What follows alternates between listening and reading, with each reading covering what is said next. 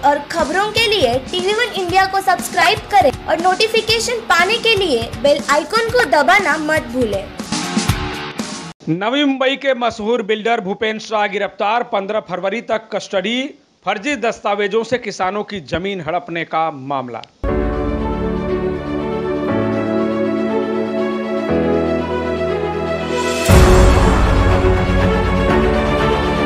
Police की घेराबंदी में मुँह छुपाए जा रहे ये नवी के मशहूर बिल्डर भूपेंद्र शाह हैं।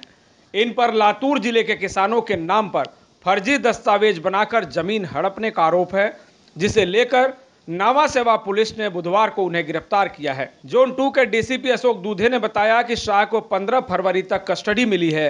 हालाँकि, बुधवार की देर रात उन्हें तकलीफ़ के बाद वाशी के एमजीएम अस्पताल में भर्ती करा दिया गया। पुलिस आयुक्त के अनुसार इस मामले में शाह से पहले तलाठी समेत चार आरोपी पहले ही गिरफ़्तार हो चुके हैं। जबकि जाँच में अन्य लोगों के शामिल होने के सबूत और दस्तावेज़ मिले हैं, जिनकी जल्द गिरफ्तारी हो सकती है। नावाशेवा पुलिस स्टेशन में ऑफेंस रजिस्टर है। अभी तक चार आरोपियों को अरेस्ट किया है, सब जेल में है, और आज सुबह ही इसमें जो मेन बिल्डर है, उसको भी अरेस्ट किया है। कुल मिला के लोगों को इसमें अरेस्ट किया है। इसमें जो ज़मीन के बारे में जो व्यवहार हुआ है, वो ज़मीन लेने के लिए किसान की जो ज़रूरत, किसान होना ज़रूरत है, उसके लिए जो सात बारह डॉक्यूमेंट सबमिट किया है, वो फोर्ज डॉक्यूमेंट सबमिट किया है।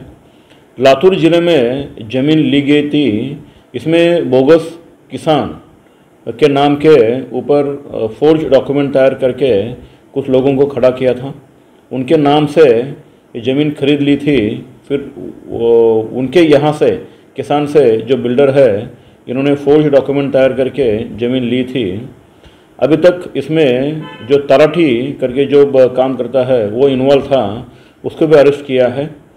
जिनके नाम से ये ज़मीन की है, ये तराठी के रिश्तेदार है, और ये सब, इन सब की मिली भगत हमारे सामने आई है।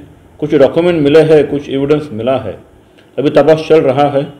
इनको पंद्रह तारीख तक पीसी मिली है, अभी इसमें और भी लोगों की शामिल है, ऐसा एविडेंस हमारे सामने आया है और बाकी जो लोग शामिल है, उनके खिलाफ भी हम कार्रवाई करने वाले हैं। बता दें कि भूमिराज बिल्डर के मालिक भूपेंद्र शाह के खिलाफ फर्जीवाड़े के कई और मुकदमे भी चल रहे हैं। पनवेल के वाघीवली गाँव के किसानों ने भी उनके खिलाफ फर्जी दस्तावेजों के आधार पर ज़मीन हड़पने का आरोप लगाया है। किसानों की ओर से शिकायत करने वाले के कुमार ने बताया कि शाह ने किसानों के साथ बारह में फेरफार कर बेलापुर के पार्श्विक हिल पर सिटको से ज़मीन ली, जिस पर आज भूमिराज हिल्स का निर्माण चल रहा है। ये सवाल उठता है नवी मुंबई पुलिस के क्रियाकलाप पे कि एक से एक तो एक साल तक इनको गिरफ़्तार नहीं किया। मैंने उस समय उरन पुलिस स्टेशन के नवा सेवा पुलिस स्टेशन के आईओ से भी बात की थी। उन्होंने मुझे स्पष्ट कहा था कि मुझे इनकी गिरफ्तारी की ज़रूरत नहीं है। जब गिरफ़्तार करने का होगा तो मैं कर लूँगा। तो ऐसी क्या ज़रूरत आ गई? ऐसा कौन सा प्रेशर आ गया कि आज गिरफ़्तार किया और जब गिरफ़्तार किए कोर्ट ने इनको तीन दिन का रिमांड दिया।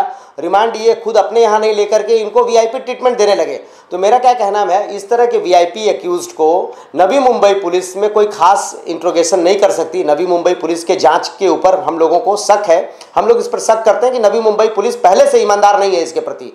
तो इस केस को कहीं और ट्रांसफ़र किया जाए। ऐसा अभी हम तुरंत जा रहे हैं सीपी साहब को एक अप्लीकेशन देने और डीसीपी साहब को। क्योंकि हम लोगों ने इसके पहले इनके जो यूनिस ट्रस्ट का जो लैंड स्कैम हुआ है, ये 600 करोड़ का लगभग ज़मीन था, जिसको इन लोगों ने बहुत लेस वैल्यू में ख़रीदा है और ये मैटर हम लोगों ने ईडी में डाला था। चूँकि यूनुस और इकबाल मिर्ची, जो इंटरनेशनल ड्रग माफिया है, उनके साथ ईडी अभी कनेक्शन निकाली है और ईडी जाँच कर रही है। तो इस केस में भी हम लोगों को ऐसा लगता है कि हवाला डील हुआ है। चूँकि चार छः लाख में ज़मीन खरीदा गया और इस ज़मीन का वैल्यू था 600 करोड़। नेशनल सिक्योरिटीज के लिए डेंजर है इनका नेक्सेस इस नेक्सेस में इनका क्या रोल बनता है, इसका जाँच करना बहुत ज़रूरी bureau report TV one India.